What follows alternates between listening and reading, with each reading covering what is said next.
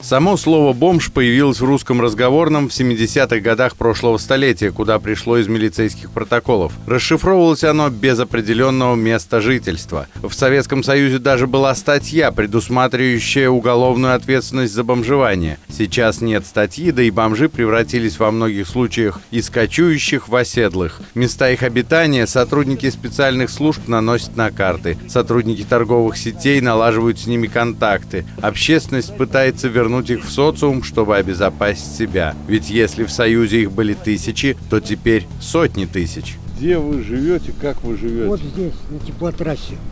Ну, мы ночуем иногда наверху, наверху ночуем. Просто сейчас теплое время. А в холодное время когда дожди, туда спускаемся. Живут так они уже три года. По одному сложно, поэтому у Николая есть названная жена. Парой жить легче, иногда можно позволить себе поболеть. Заболеть же, будучи одному, означает верную смерть. У каждого бомжа своя история прихода в это сообщество. В 95 году я приехал сюда с мужем на встречу в дом, где я воспитывался. Он болел, у него был цирроз печени – и ровно через год, 26 марта 96 он скончался. Потом встретила Николая.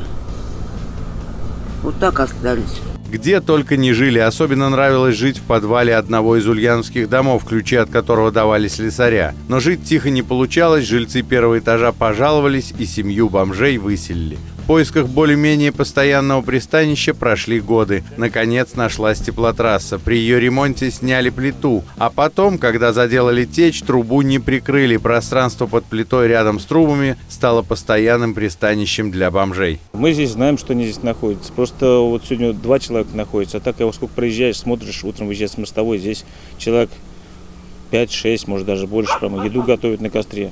Тут сколько приходим, кости собачьи находим, что, видно, собака рассказали, выращивают, а они, говорят, едят. Признаки первобытной оседлости на лицо. Более-менее постоянное место обитания, домашние животные, которых используют в пищу. Однако, если вдруг однажды теплоком или его клиенты, жители города, обратят внимание на то, что раскрытые трубы греют зимой и летом воздух Ульяновска, а платят за это счастливые обладатели горячей воды в квартирах, то пещеру закроют, и полудиким людям придется искать себе новые пристанище рядом с цивилизацией 21 века. Нельзя сказать, чтобы человечество забыло о них совсем. В Ульяновской области есть даже специальная организация, которая обязана заниматься их встраиванием в социум. Но, как выяснилось, у нее слишком длинное название и многообразные обязанности, чтобы заниматься бездомными качественно. Изначально в основной массе э, наше учреждение заработало именно в таком формате в 2012 году. Вот. А, изначально мы работали в формате мобильной группы. Вот.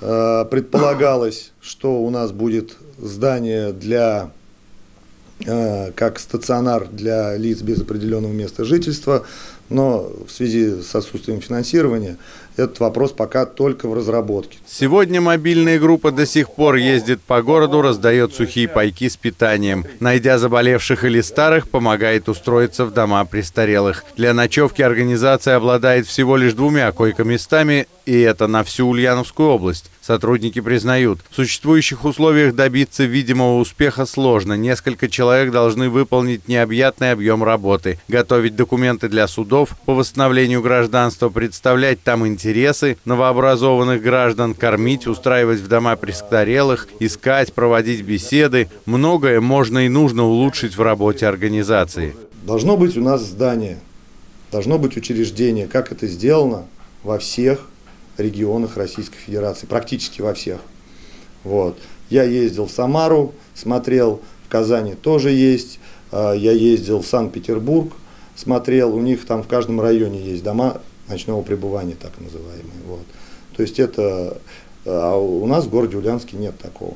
Эти дома позволяют не только уберечь бездомных от смерти и голода, но и снижать риски распространения туберкулеза, сифилиса, вшей и прочего. Поскольку проблема не нова, да и отсутствие ее решения не новость, Помощью подобным людям занимаются различные фонды и некоммерческие организации. Их работа разобщена, поэтому где-то могут покормить два раза, а где-то просто пропустить. Пока наша съемочная группа работала над сюжетом, вскрылось несколько проблем, связанных между собой. Несанкционированные свалки рано рано или поздно будут заселены бомжами. Недоработки на теплотрассах означают тоже. Кроме того, недорого ли горожанам оплачивать потери тепла и воды, которыми пользуются только бомжи? В 70-х, 80-х годах прошлого столетия здесь был пляж. Здесь отдыхали ульяновцы.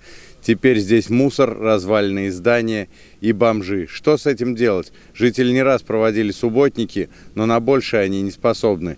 Благоустройство – дело затратное. О бомжах, которых мы нашли в государственном учреждении, не знали, но о них знали в Центре «Свобода». Организация дает им возможность зарабатывать трудом. Люди собирают по берегу Свияги пластик и сдают его. Побережье становится чище, а людям есть на что купить еды. Однако этой помощи мало, пока некоммерческие организации не могут в некоторых случаях кормить, а в некоторых предоставлять ночлег бездомным. Общественники к этому готовы. Президент Путин в послании к Федеральному собранию почти год назад заявил, что государство государство должно отдавать некоммерческим организациям то, чего не может сделать самостоятельно. Видимо, чиновники, курирующие работу с бездомными, пока президента не услышали. Общую проблему так или иначе придется решать, и лучше это делать сообща. Павел Половов, Александр Кудряшов. Новости Ульяновской правды.